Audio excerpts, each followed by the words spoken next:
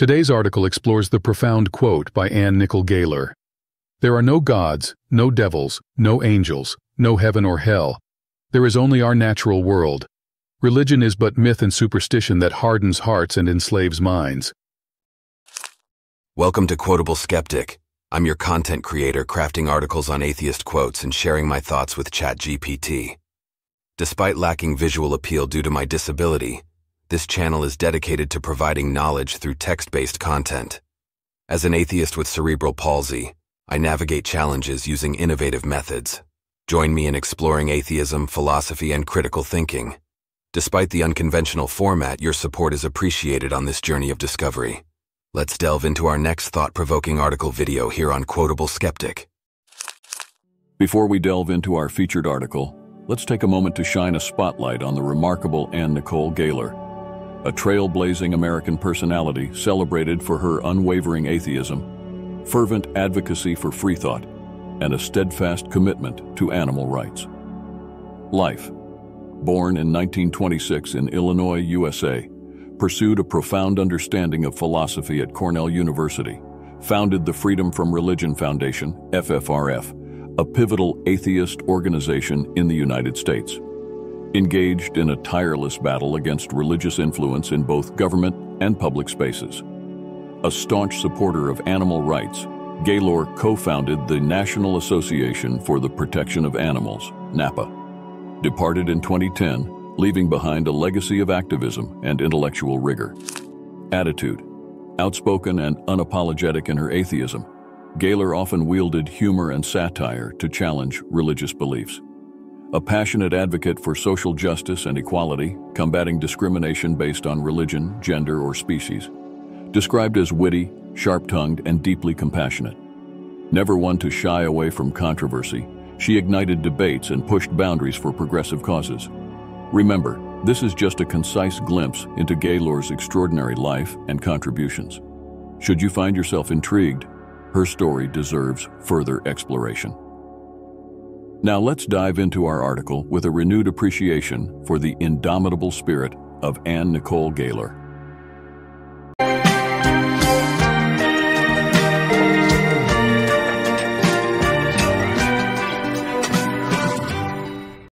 Title Unveiling the Veil of Superstition A Rational Exploration of Atheism.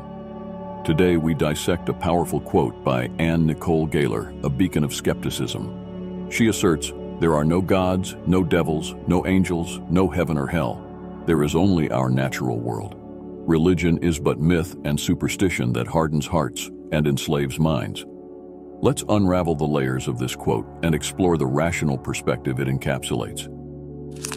Deconstructing the, quote, Gaylor's words are a rallying cry for those who embrace atheism, a rejection of supernatural entities, and a call to anchor our understanding in the tangible reality of the natural world. Let's break it down. 1. Absence of supernatural entities. Gaylor unequivocally dismisses the existence of gods, devils, angels, and the entire celestial hierarchy.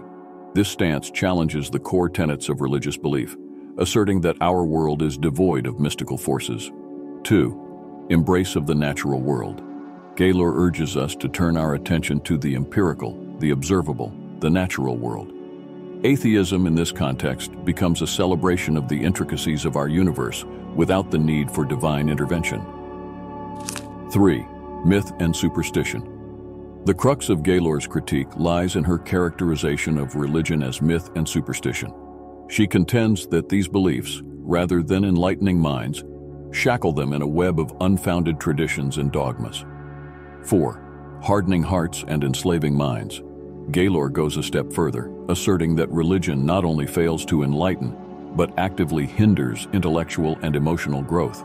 The hardening of hearts and the enslavement of minds depict a grim picture of the potential consequences of religious adherence. Exploring the atheist perspective. From the vantage point of atheism, this quote resonates as a call to intellectual freedom and liberation from the constraints of supernatural dogmas. It advocates for a worldview rooted in reason, evidence, and a profound appreciation for the wonders of our natural world. Conclusion. As we conclude our exploration of Anne Nicol Gaylor's poignant words, we're left with a challenge to question, to reason, and to free ourselves from the bonds of myth and superstition. Quotable Skeptic encourages you to engage with these ideas, fostering a community of thinkers driven by curiosity and an unyielding thirst for knowledge. Stay skeptical, stay rational, and until next time, this is Quotable Skeptic, signing off. Thank you for joining me on Quotable Skeptic, where curiosity meets knowledge.